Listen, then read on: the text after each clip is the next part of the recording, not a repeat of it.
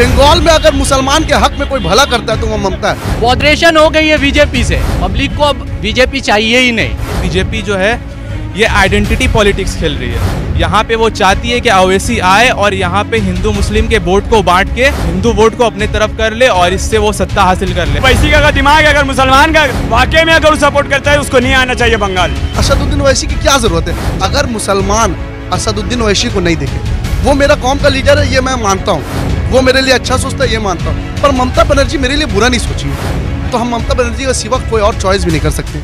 बार का चुनाव है वो मुसलमान वोट बहुत बड़ा फैक्टर है क्योंकि यहाँ पे लगभग चौरानवे ऐसे सीट है जहाँ पर मुसलमान के वोट बहुत बड़े फैक्टर होते हैं और मुसलमान यहाँ पर ये तय करते हैं कि उनका प्रतिनिधि कौन होगा उनका रहनुमा कौन होगा। आइए बातचीत करते हैं। क्या लग रहा है इस बार 2021 में कौन आ रहा है बंगाल में? ममता ममता ममता। ममता बनर्जी काम वाम बढ़िया किए हाँ? बहुत अच्छा काम किया।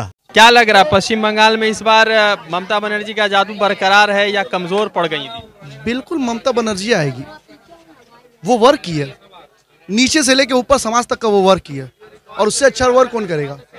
उससे अच्छा वर्क और उससे अच्छा बंगाल कोई चला नहीं सकता। अगर मुसलमान असदुद्दीन ओवैसी को नहीं देखे वो मेरा कौम का लीडर है ये मैं मानता हूँ। वो मेरे लिए अच्छा सोचता है ये मानता हूँ। पर ममता बनर्जी मेरे लिए बुरा नहीं सोची है। तो हम ममता बनर्जी का सिवा कोई और चॉइस भी नहीं कर सकते।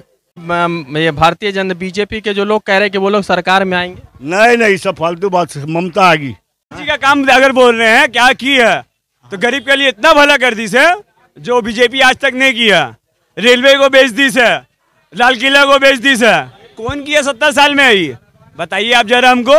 बात यह है कि वो लोग कह रहे हैं कि असदुद्दीन ओवैसी आएँगे तो बीजेपी को फ़ायदा हो जाएगा।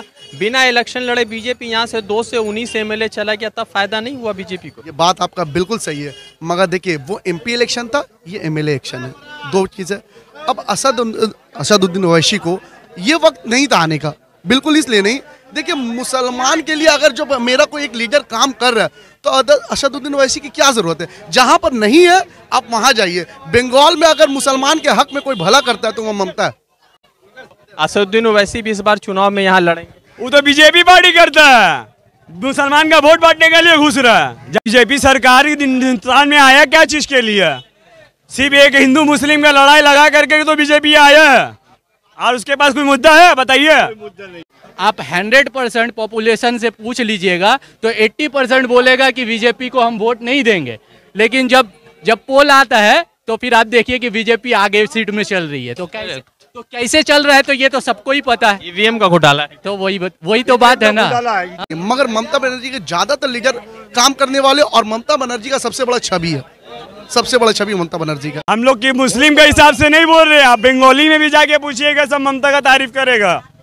जितना लॉकडाउन के टाइम में ममता सपोर्ट कर दिए बंगाल में ना तो इंडिया में पूरा नहीं हुआ है। ये शोभिंदो अधिकारी ममता बनर्जी को छोड़कर चले गए तो ममता नुकसान हुई। देखिए नुकसान और फ़ायदा जो करता है चेंज सिर्फ़ पैसे के लिए। उसको दिया होगा बीजेपी पैसा चेंज कर दिया तो उससे क्या फ़र्क है? वोट आपको और हमको देना है। तो कोई नुकसान नहीं होगा पब्लिक साथ है।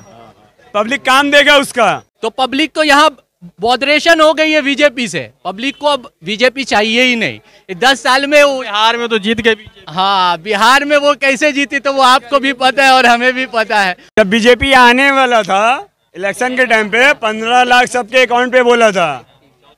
समझे? दो बार सरकार बन गया। पंद्रह रुपया तो आया